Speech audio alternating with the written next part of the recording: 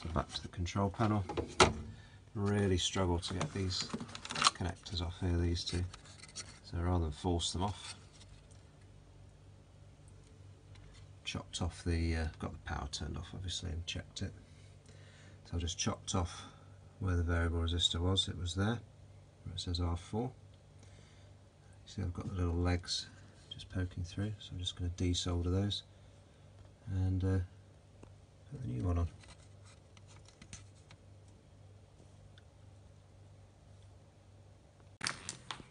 Okay, so this is the one that I've just taken off the fridge side of the circuit board, the control board, which it says is a 47K023M. This is my replacement one, which I've bought. The size is identical, the pitch is identical. The one this one looks different is because I've chopped the legs off just to get it off the circuit board and desolder it more easily and then this one has written on it. You can't see it because it's really difficult to see but it says on it 47K907M so it says that it's still a 47K which is the main thing. Just 023M for the original 907M for this one. Who knows what that means. So what we're going to do is we're going to check the resistance. So we're going to get we're going to check the resistance at different positions of the slider of the potentiometer.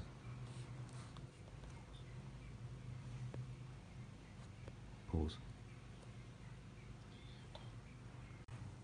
Okay, so I'm going to use the uh, resistance setting on my Fieldpiece SC 680 meter. I've got the two crocodile clips on the end here.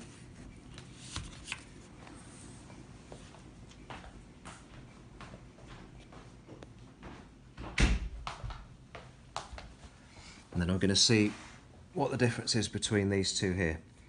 So I did some readings last night of the new one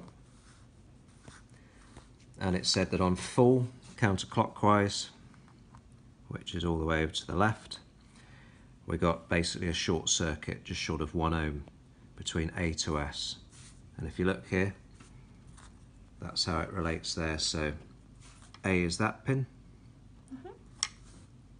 S is the back pin, which is the slider one, and E is the one on the right. So just to prove that, we should have just pretty much a short circuit between A and S, between the back pin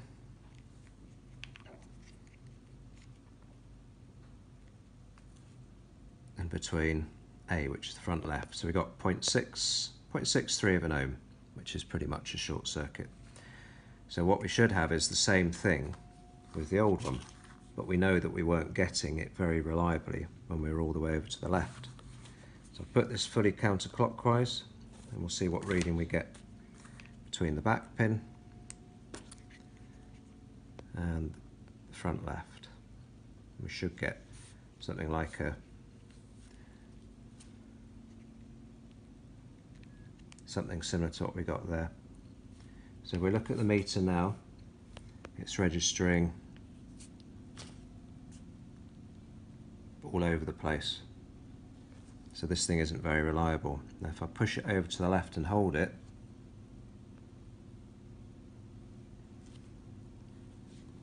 we're not getting at all consistent results, which is why I'm saying there's something wrong with this variable resistor. So we'll take it off that I'm just going to move it round a bit to there. First of all, we'll have a look at what we get from A to E. This should be a fixed resistance of about 47k. We've actually got 59k. Can you see that? 59k there. That's across from A to E.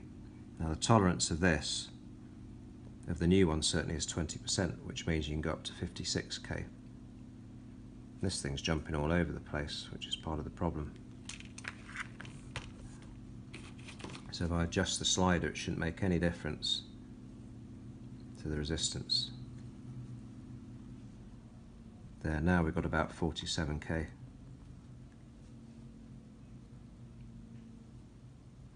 So something very wrong with this.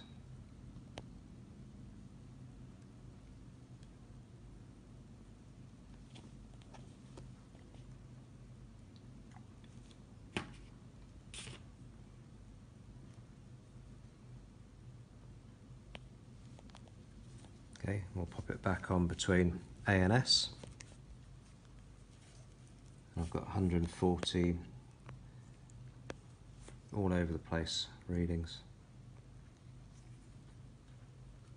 So I'm going to move this all the way fully clockwise to see if I can get it to be a short circuit. It wants to. This is what it should be to turn the fridge off. If you look at the reading, it's all over the place.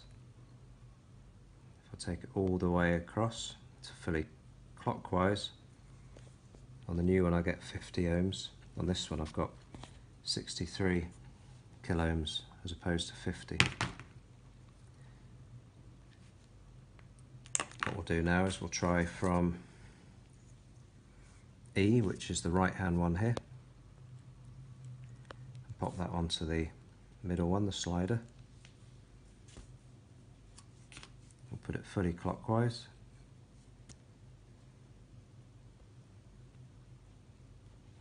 That's where on the new one we get about we get a short circuit.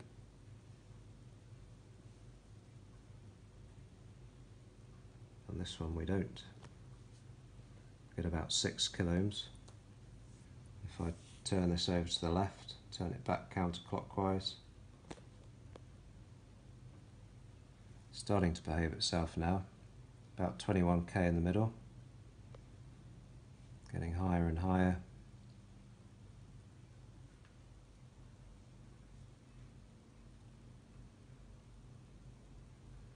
Working its way up to 47k, which is what we'd expect. And then all the way over. It's not, not ideal.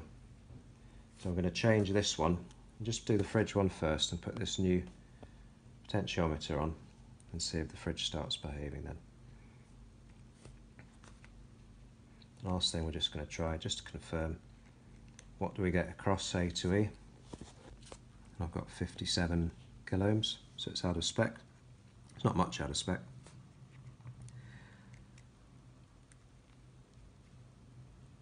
And similarly, from A to S.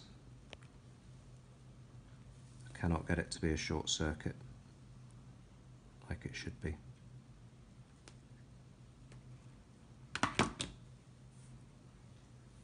Okay, that's it for now. I'm going to go and fit this to the fridge. Right, so we've got minus 21 and a half for the freezer, minus 1.3, bottom left hand side drawer of the fridge, the unit is satisfied.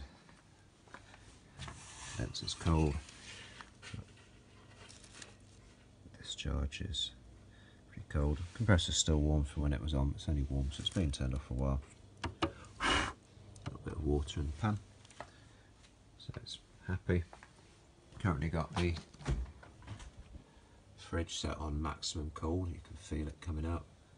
The freezer at the moment is set on the iCare setting. This is the coldest setting it should be the fridge.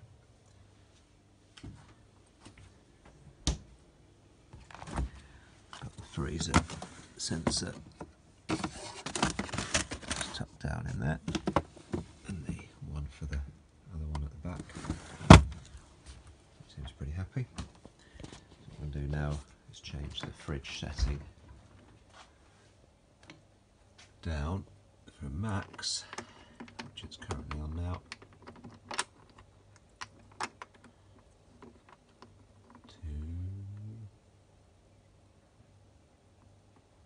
we'll go for there, which is kind of.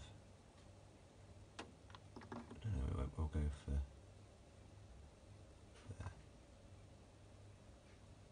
Not quite holiday mode. We'll see how that gets on. So about that position. Probably turn on in a bit because I just open the door and let all the heat in. Right, so just replace the freezer potentiometer. Turn it on. About 10 minutes ago or so. And uh, the pressure's now kicked in. Suction line is ice cold. Ice, ice cold.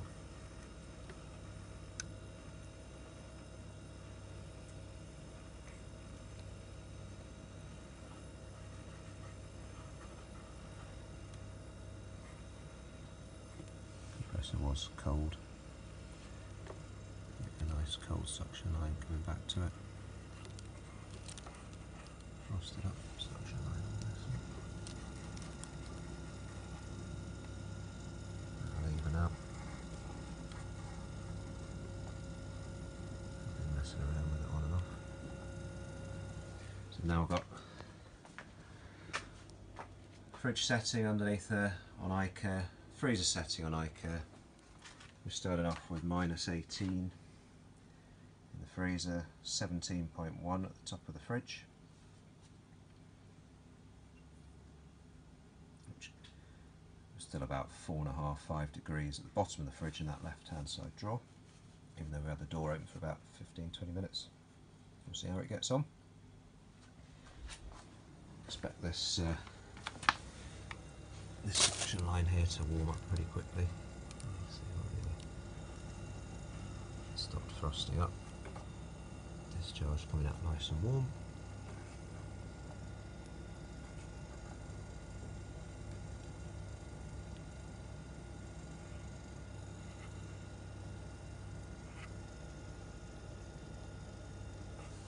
Just watch the temperatures and expect the fridge to come down.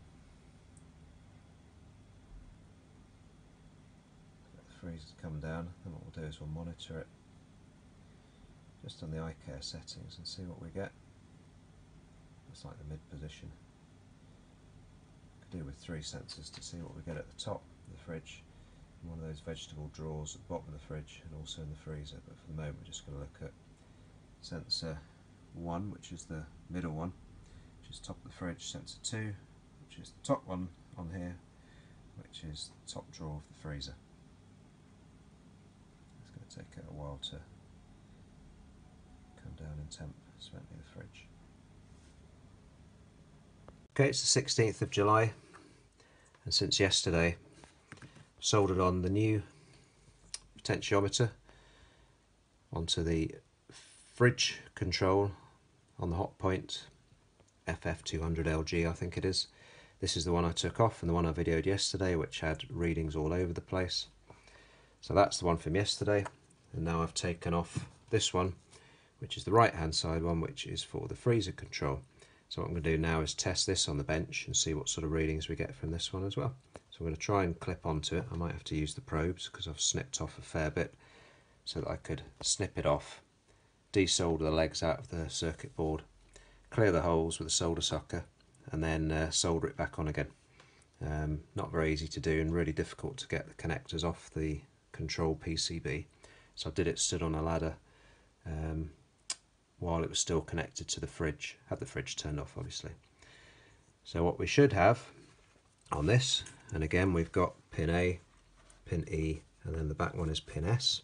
From A to E we should have about 47 kiloohms. I'm just going to swap these over to these connectors here. So I'm still on the Fieldpiece SC680. I'm going to take these off because I haven't got enough. So I'm on ohms. Do is just pop that on there. It's magnetic. And I've touched my probes. See we've got zero ohms zeroed out nicely. So first of all, down here we're going to go across from A to E, see what we read. And if you look at that, if you look at what the meter says, 74 kiloohms, this is supposed to be a 47K3, 47,000 ohms, and so this reading from A to E of 73, 74 kiloohms is well out of spec because, as we saw yesterday, 20% should be 37.6k up to 56.4k. That's 20% plus or minus of 47k. That's the tolerance we expect from these. So this is well out of spec. We'll measure the resistance when we're fully over to the left, which should be the off position for the freezer. And this should be approximately zero ohms, short circuit. And it's not got 14k there. Now if I turn this a little bit more to the left, I'll try and hold it at the same time.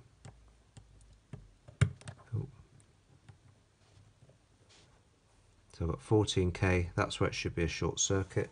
I have to really turn it to try and get a short circuit. This is to turn the freezer off. It doesn't want to do it anyway, look. So this is one of the problems the freezer didn't want to turn off at all. Because it should be seeing zero volts, sorry, zero volts, zero ohms there, it should be a short circuit. And now because I turn it to the right, resistance should be going up as it is.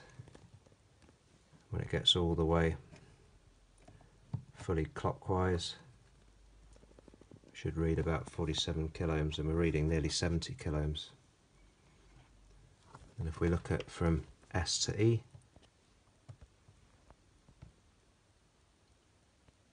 about 9k and again when this is fully over clockwise we should get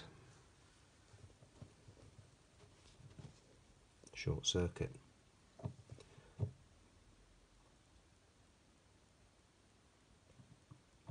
nope I did manage to get the freezer to turn, or the whole unit to turn off on the freezer control with this one before I hacked it out of the machine.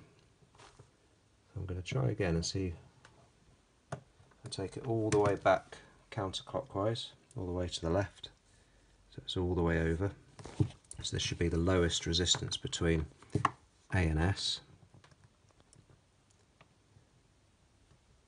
And I've still got 14k, it's no wonder it didn't want to turn off.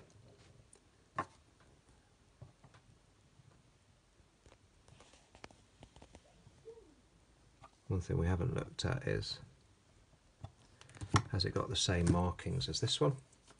It has. 47K023M.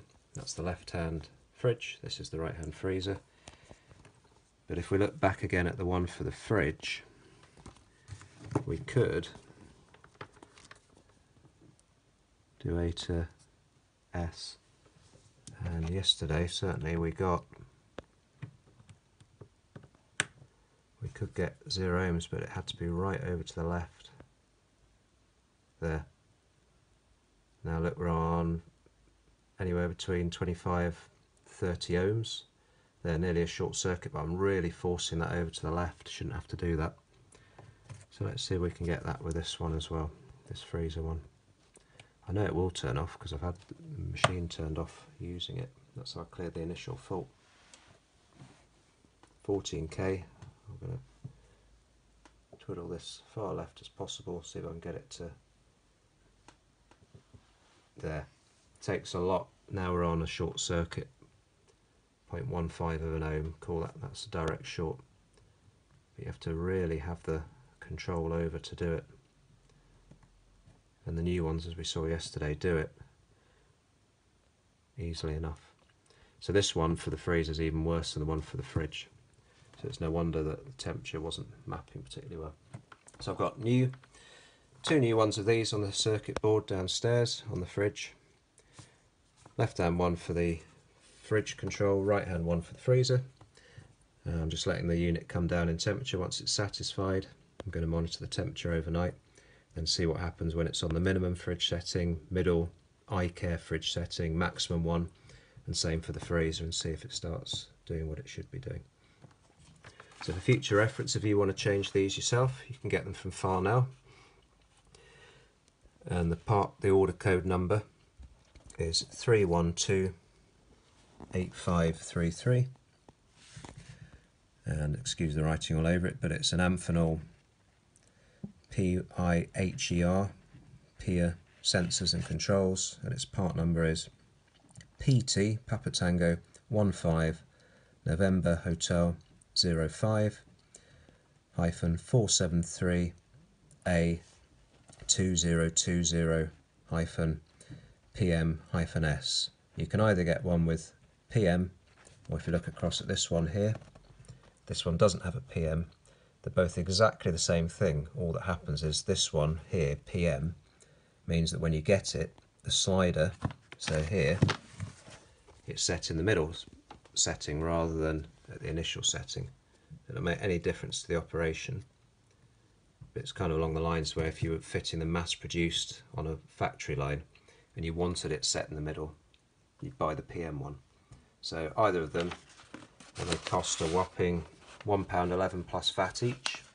So they're not a lot to change. So including delivery, which costs more than the parts, you're looking at, I don't know, maybe about £10 to change them both over and then get your fridge and freezer temperatures working properly again. So it's the 15 series rather than the 10 series. Difference being that for the 15 one, it's 15 millimeters is the pitch across and it's 250 power rating. And for the 10 mil across, it's 150 power rating. So this is the important thing here, this part number here, and that order code from Farnell or this one, which is 312853 So that's it. We'll monitor the temperature and we'll come back with some temperature results tomorrow.